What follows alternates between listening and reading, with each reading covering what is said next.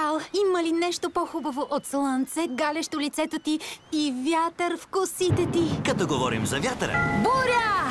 пустете предпазливостта на вятъра. Той да избере следващото място. Е е.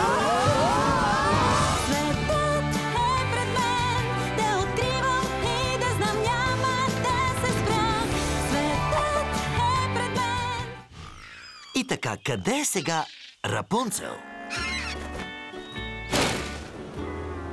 Къ- къ- къде е тук? Остров Тирапи, пристанище, прочуто със своите плодове.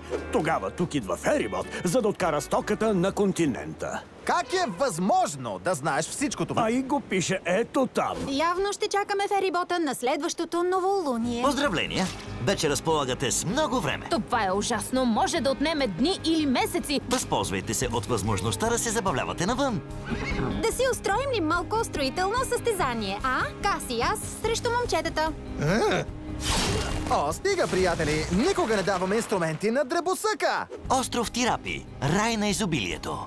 Пристигнахме. Добре дошъл в твоето кралство, Лорбилен. Опитайте невероятно екзотичните плодове. О, о, леле! Плотен някака! Какъв Рапунцел? Усетете горещината.